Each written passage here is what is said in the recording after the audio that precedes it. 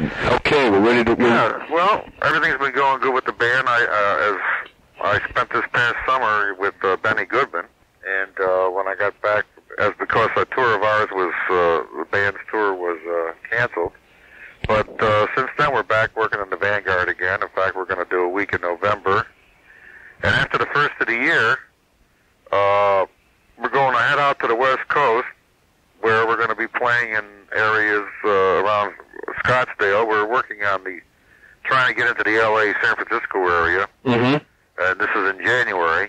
And uh, I think we're go- we're going to be up in Vancouver for about a week around the 17th or so of uh, January.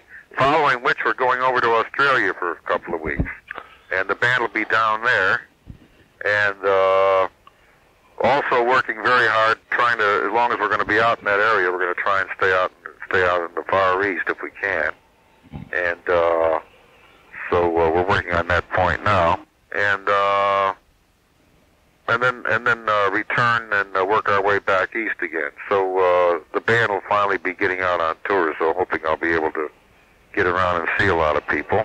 Great. And hopefully through the, through my new drum company, Pearl, we'll get to do some uh, clinics and things around.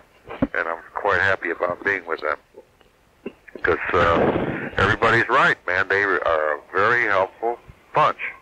They really try to help you. They're nice people. And besides, it's very nice for me to be with Al Duffy again because uh, I consider him one of the best engineers in the business. Where did he start from? Gretsch? Was he a Gretsch guy? No, he was he was. Uh, I knew him from uh, his days when he was a part when he was up uh, as a partner with with uh, Frank Ippolito Ah, okay. on the, in the old shop, and he did all the repair work and all the inventing. And if people don't know who he is, that's he's, his, that's the Duffy that you see on the uh, Ippolito Duffy on the uh, chain pedal. Mm-hmm. He's the inventor. It was his idea. He and Frank. And uh, he's just been one of the best drum makers in the business. Mm-hmm. And I think that's one of the greatest things that could have happened to Pearl. And that's what uh, sort of influenced me into moving over there.